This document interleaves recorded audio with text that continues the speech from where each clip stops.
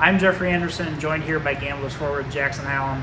Jackson split this weekend series against Madison. What did you think of the offense's performances in both of those games? Uh, I thought it was kind of average in the first game. I didn't think it was the best. Um, obviously, it showed at the score. You know, we didn't win, and that was kind of due to our offense, not lack of offense.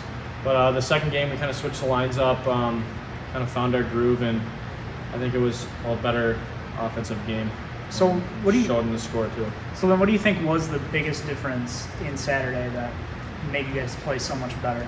I think just kind of our attitude going into the game, buying into our systems, making sure that you know it starts in the D zone, you know, that leads to good offense. So then, back in the scoring column for you this weekend with a goal and a pair of assists.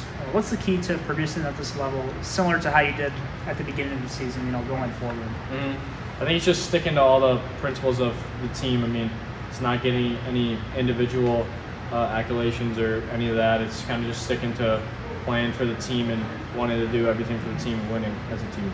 And recently acquired Carter Batchelder, goal and assist in Saturday's win.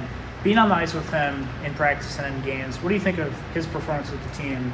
You know, weekend. Mm, yeah, he's such a good player, great kid. Um, fits fits really well into our team, um, and everyone likes him. So I mean, it's it's great to have him. Playing Madison again Thursday, followed by two games at the Resch Center against Muskegon. What's the goal to showing that offensive firepower that we know this team is capable of? I think it's just having a really good start on the road. I think that's the most important thing.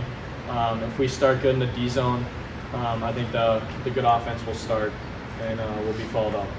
Jackson, thank you so much for your time. Yeah, thanks.